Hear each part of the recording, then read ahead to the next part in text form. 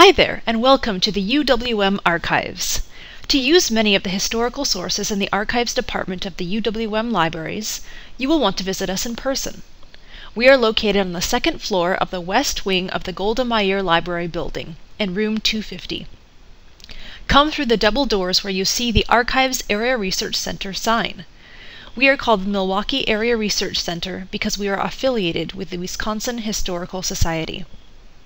We are open Monday through Friday from 8 a.m. to 4:30 p.m. and when UWM classes are in session, we are open until 6:30 p.m. on Wednesdays and Thursdays. Be sure to bring a photo ID with you for registration purposes. All patrons must register with us and show identification. We recommend that you give yourself at least an hour to work with the primary sources in the archives. Working with primary sources often takes more time than it does using other library resources, but is ultimately rewarding. If you have not already identified sources for your topic, we'll be happy to help you. Be prepared to tell us something about your research or your assignment.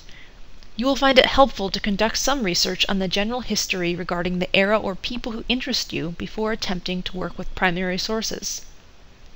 After identifying sources relevant to your research, we will complete a call slip and retrieve the materials for you. We bring the materials right to your desk in our reading room. When working in the reading room, you will be asked to follow some basic rules in order to protect the integrity and physical condition of the collections. These include no food or drink, no pens or highlighters. Please handle materials carefully. As with many reading rooms, you will be observed while you work. Although items may not be checked out, in some cases you're welcome to make copies for your personal use.